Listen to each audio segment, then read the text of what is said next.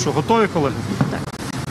Петро Олексійович, закінчилося два позачергові засідання. За що голосувала сьогодні європейська солідарність? Що підтримували, а від чого утримувалися?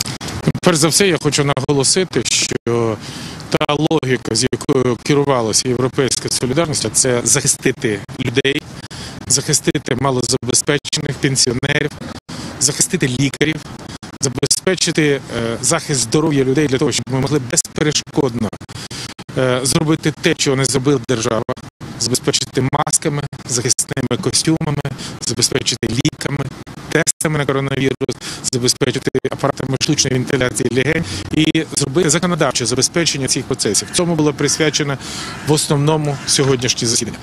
Ви знаєте, що європейська солідарність, як ми і обіцяли, взяла активну участь в розробці зазначеного законопроекту. Мій підпис як голови е, європейської солідарності стоїть під зазначеним законопроектом, і там заходи і щодо соціальної підтримки, і щодо підтримки економіки України для того, щоб мінімізувати наслідки бездарного господарювання, некомпетентності які призвели до е, ситуації, що склалася вкупі з пандемією коронавірусу. Ми е, проголосували цей законопроект, ми проголосували низку законопроєктів медичного спрямування. І як ми і обіцяли, всупереч е, запевненням, що Верховна Рада буде заблокована, ні, майже в повному складі е, ми попросили Мустафу Джемільова, щоб він в силу віку е, не брав участь в цьому засіданні.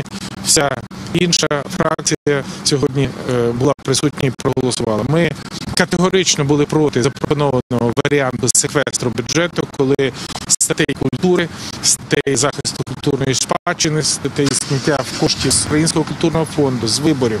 Головне з е, нищення місцевого самоврядування, коли державний фонд регіонального розвитку.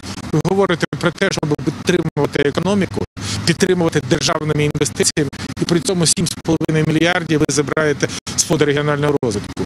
2 мільярди ви забираєте з підтримки об'єднаних територіальних громад. Це є руйнація моєї реформи децентралізації, яку я ініціював у 2014 році. І звичайно, це разом з іншими законопроектами не дало нам можливості заголосувати за бюджет. і Він не пройшов і спрямований на допрацювання. Без, без позиції європейської солідарності зараз не проходить більшість голосувань. Ми підтримали звільнення е, міністрів і міністра Уманського, і міністра Ємця, тому що ви бачите, що вже після того, як місяць е, іде активна робота по захисту світових е, країн світу проти коронавірусу, у нас на сьогоднішній день діюча влада не зробила нічого. У нас не стало подивитися в аптеки, чи маємо ми маски, чи маємо ми засоби захисту, чи маємо ми е, антисептики. Немає нічого. І я переконаний, що це є справедлива оцінка урядовців, які е, сьогодні були відправлені у відставку. Ми е, сьогодні знаходимося в опозиції. Разом з тим ми беремо спільну участь до опрацювання е, всіх законопроєктів. і Беремо готові брати і беремо активну участь в штабі протидії пандемії. І ще одна позиція, якщо дозволите. Е, Сьогодні пройшло дві позачергових сесії, і друга позачергова сесія була спрямована на е, те, щоб прийняти закон, який би дозволив уявити собі в 2020 році дозволив розблокувати ситуацію з харчуванням українських військовослужбовців.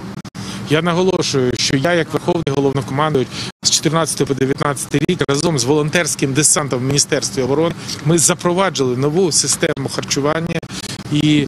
е, Воїни відчули це, бо сьогодні е, харчі в українській армії були де-інде, мені це особисто казали солдати, краще, ніж вдома. І е, на сьогоднішній день з-за того, що е, наприкінці 2019 року не були проведені тендери, не була проведена підготовка, не виділено фінансування, українське харчування, система харчування української армії залишилася без постачальників. І це довелося сьогодні продовжувати дію контрактів, які були заключені ще нашою командою для того, щоб забезпечити харчування.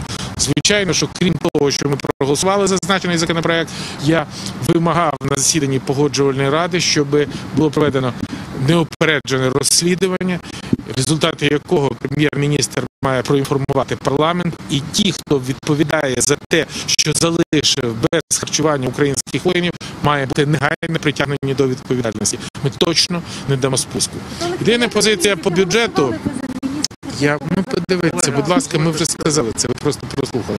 Е, зараз я відповім на ваше питання з вашого дозволу. А щодо бюджету, е, є ще одна позиція.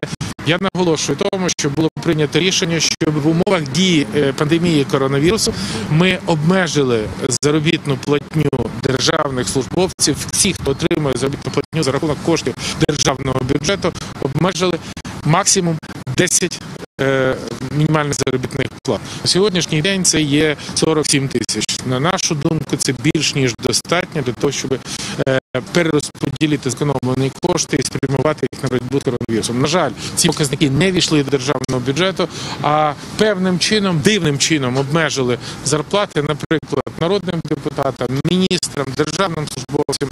Цю планку встановили за нашою пропозицією, а таким як прокурори, слідчі ДБР, інші позиції, які не пов'язані безпосередньо з захистом людей, зарплати старі залишили. Ми чітко підняли питання, що були приведені відповідність при підготовці до другого читання. Я сподіваюся, це буде зроблено. Єдине, кому не можна е, обмежувати заробітних плат, це лікарі, які стоять на фронті захисту українців від пандемії коронавірусу, і наші солдати, наші воїни, які боронять країну проти російської агресії. Ще раз наголошую, що ми е, проголосували за відставку е, міністра е, охорони здоров'я і міністра фінансів, і ми утрималися при призначенні е, нових міністрів.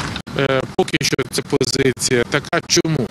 Тому що у нас в умовах монобільшості працює і е, міністром охорони здоров'я, і міністром фінансів е, президент України Зеленський. І ми впевнені в тому, що це їх сфера відповідальності. Ми не перешкоджаємо, ми не голосуємо проти, як це робили в е, серпні, вересні місяці. Але це політична відповідальність цих політичних сил.